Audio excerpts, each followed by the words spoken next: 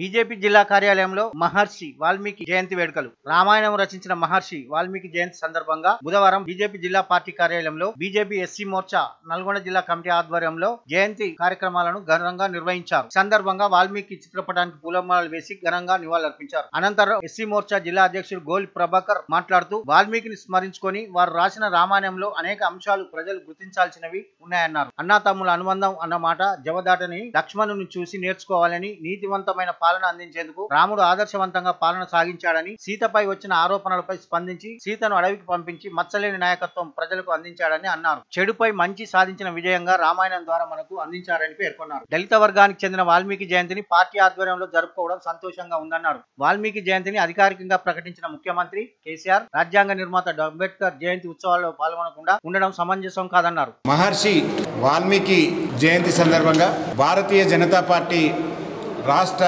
SC Morcha ఇచ్చినటువంటి పిలుపు మేరకు అన్ని జిల్లాల్లో అన్ని మండల కేంద్రాల్లో కూడా ఈ యొక్క రామాయణ నిర్మాత రామాయణాన్ని లిఖించినటువంటి వాల్మీకి యొక్క జయంతి ఉత్సవాలను జరిపించాలని చెప్పేసి పార్టీ పిలిపించింది. ఈ సందర్భంగా నల్గొండ జిల్లా పార్టీ కార్యాలయంలో నల్గొండ జిల్లా ఎస్సీ మోర్చా ఆధ్వర్యంలో ఈరోజు ఈ కార్యక్రమం వారి చిత్రపటానికి పూలమాల వేసి నివాళ అర్పించడం జరిగింది.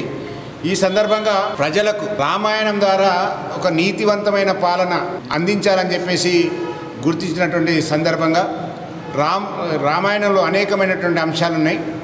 ఒకటి అన్నదమ్ముల యొక్క ప్రేమానుభావాలు తర్వాత సీతారామునికి సంబంధించినటువంటి ఒక మంచి ఆదర్శవంతమైనటువంటి దాంపత్యం ఉండే విధంగా ఇలా ఒక నీతివంతమైన ఒక రాముడు ఆ రా- రాజ్యాన్ని వెళ్ళేటువంటి రాముడు ఒక అవినీతి ఆరోపణలకు ఉన్నా కూడా అలా అది నిరూపించుకోవడానికి నీతివంతంగా ఎదుర్కొన్నటువంటి ఆ అంశాన్ని కూడా చాలా రామాయణం ద్వారా చాలా నేర్చుకోవాల్సినటువంటి విషయాలు ఉన్నాయి ఈ సందర్భంగా వారి ఈ రామాయణాన్ని నిర్మించినటువంటి వాల్మీకి మా యొక్క భారతీయ జనతా పార్టీ తరఫున ఈ ప్రజల తరఫున వారికి అభినందనలు తె- జేబీని తెలియజేస్తా ఉన్నాం.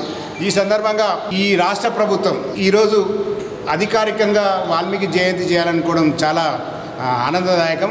కాకపోతే వారు ఈ వాల్మీకి జయంతిని నిర్మించే విధంగా ఏదైతే పిలుపునిచ్చిండో అదే రాజ్యాంగాన్ని రచించినటువంటి అంబేద్కర్ను విస్మరించినటువంటి కేసీఆర్ గారు ఈరోజు హుజురాబాద్ ఎన్నికల్లో హుజురాబాద్ జరిగేటువంటి ఎన్నికల్లో దళిత బంధును ఎన్నికల కన్నా ముందు దళిత బంధును ప్రవేశపెట్టడం అమలు చేస్తానడం ప్రజలందరికీ కూడా ఆశలు కల్పించడం.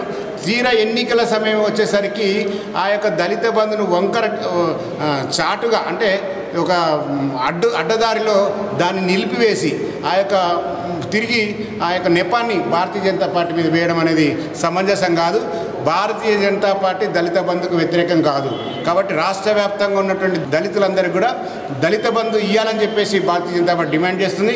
ఎక్కడైతే నువ్వు హుజురాబాద్లో నువ్వు మా మీద ఆరోపణలు చేసినావో నిరూపించుకోవాలని చెప్పేసి కూడా భారతీయ జనతా పార్టీ డిమాండ్ చేస్తాం. ఈ కార్యక్రమంలో బీజేపీ జిల్లా కోశాధికారి కంచర్ల విద్యాసాగర్ రెడ్డి యువమోర్చా జిల్లా అధ్యక్షుడు హైదరాబాద్ సిద్ధు ఎస్సీ మోర్చా జిల్లా అధికార ప్రతినిధి ఎన్నమల్ల మహేష్ ధర్మయ్య జిల్లా నాయకులు మామిళ్ళ శ్రీనివాస్ దేవేందర్ బీజేవైఎం జిల్లా ప్రధాన కార్యదర్శి శ్రీకాంత్ రెడ్డి మజ్దూర్ సెల్ జిల్లా కన్వీనర్ టంగుటూరు శ్యామ్ కుమార్ తదితరులు పాల్గొన్నారు.